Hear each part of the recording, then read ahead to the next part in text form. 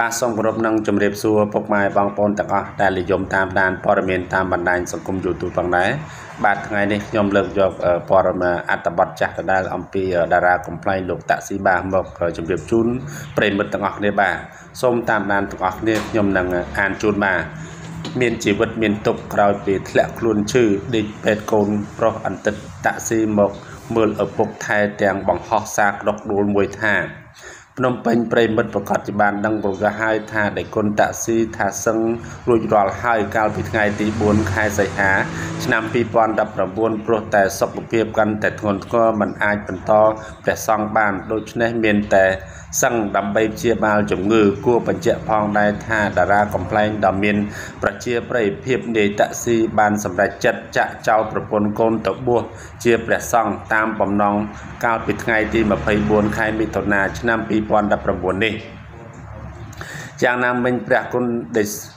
អឺដេកគុណនៅរិទ្ធ ដែលគង់នៅវត្តជាមួយគ្នាបានបង្ហោះសារមួយពីស្ថានភាពជំងឺរបស់ព្រះដេចគុណតាក់ស៊ីថារយៈពេលជិតមួយសប្តាហ៍ហើយអាការៈរបស់ព្រះអង្គម្ចាស់តាក់ស៊ីហាក់ដូចជាមានភាពធ្ងន់ធ្ងរឡើងធ្ងន់ធ្ងរឡើង ទៅហើយពីមួយថ្ងៃទៅមួយថ្ងៃមិនបានធូរស្បើយសោះមិនដឹងថាលោកអាចទប់នឹងអាការៈបែបនេះបានទៅដល់ណាទៀតទេឬក៏អត់ទេបាទតែងបើ យ៉ាងនេះអាត្មាមានការព្រួយបារម្ភចំពោះលោកខ្លាំងណាស់មិនជួយអ្វីបានទេបានត្រឹមតែអាណិតតែប៉ុណ្ណោះយ៉ាងណាមិញក្រោយពីសឹកអន្តិតតាក់ស៊ីបានចូលរួមសម្រាប់នៅជាបាលមន្ទីរពេទ្យផងដែរក្នុងនោះមានខាងសមាគមអ្នកសិល្បៈផងដែរថ្ងៃនេះផង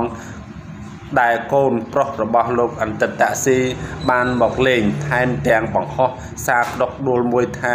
កូនជូនពរឲ្យប៉ាឆាប់បានពីជាជំងឺ សុខភាពល្អឡើងវិញណាប៉ាបាទនៅនេះលោកអឺតារាកំ pl ែងបាទលោកតាក់ស៊ីឥឡូវនេះលោកបានលាពីសិក្ខាបទបាទមកជាបាលជំងឺហើយបាទលោកដែលមានជំងឺបាទធ្ងន់ធ្ងរទៅធ្ងន់ធ្ងរទៅបាទมันអាច បន្តនៅជាបួសបានទេបាទបាទសូមថ្លែងអំណរគុណប្រិមិត្តដែលបានតាមដានព័ត៌មានបាទសូមកុំភ្លេចជួយ like Subscribe និង Share និងសញ្ញារូបបណ្ដឹងដើម្បីទទួលបានព័ត៌មានថ្មីៗទាំងអស់គ្នាបាទសូមអរគុណនិងសូមជម្រាបលា